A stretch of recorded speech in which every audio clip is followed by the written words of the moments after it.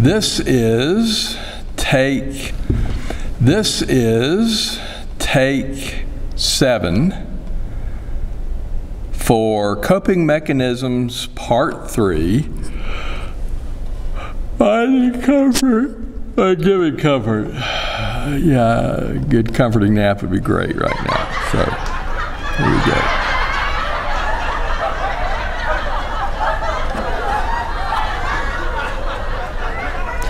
Well, good morning. How are you doing today? I'd like to welcome you to Crestview Austin Baptist Church.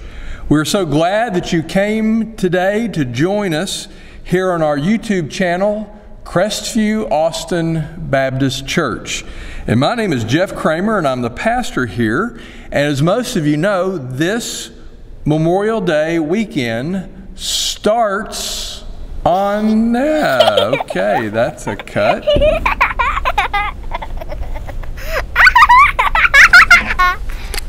Try that again.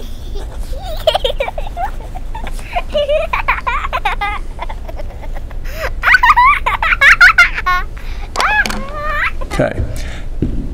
Take eight. Coping mechanisms, part three. Finding comfort by giving comfort. There you go again.